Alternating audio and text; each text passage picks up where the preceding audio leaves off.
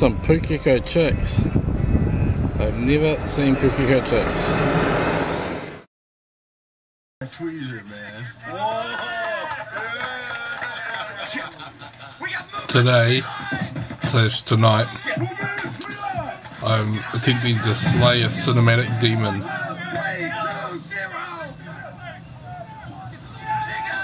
Something's wrong. Fuck's wrong with you? Fuck. My head.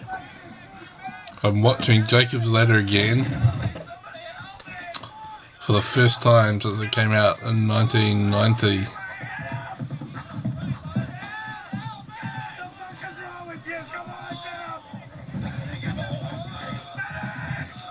I saw it at the movies and I was so scared when I went to saw it, see it. I think I was 17 or 16 or 15 or something like that. I actually walked out, I couldn't handle it.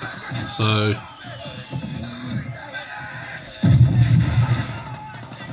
I'm. I'm tempted to watch it again now. So I just finished watching Jacob's Ladder, and um, I have to say the bits that I found disturbing so long ago. Um, I think I saw them all before I walked out. Um, what, I- what I mean by that is all the bits that I didn't, that I was uncomfortable about happened in the first short part of the movie, and then the rest was kind of slow actually. Um, beautifully filmed, great, you know. I didn't totally understand what the storyline. I'd have to watch it again to figure out what was actually happening to him.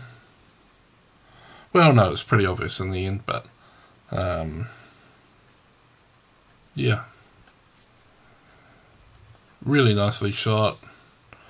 Heaps of famous people in it. Uh, heaps of famous actors. Macaulay Culkin's in it. I still totally get why I didn't like it back in the day.